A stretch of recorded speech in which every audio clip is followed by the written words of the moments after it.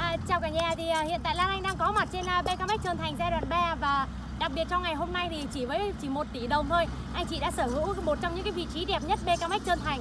Đây là vị trí đất của chúng ta đây nhá. Sở hữu mặt tiền đường 16 m và hiện tại thì à, đang được à, ủi mặt bằng để à, chuẩn bị làm đường.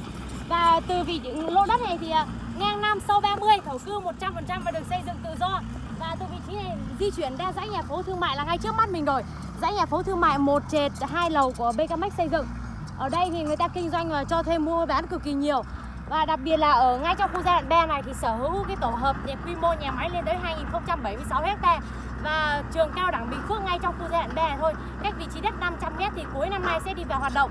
À, để sở hữu cái vị trí đất này anh chị hãy nhanh tay liên hệ với Lan Anh qua số điện thoại 036 2255 385 và đặc biệt là chỉ với 1 tỷ đồng thôi anh chị. Hãy nhanh tay nhé. Chúc quý cô chú anh chị đầu tư thành công rực rỡ tại BKMX Trơn Thành.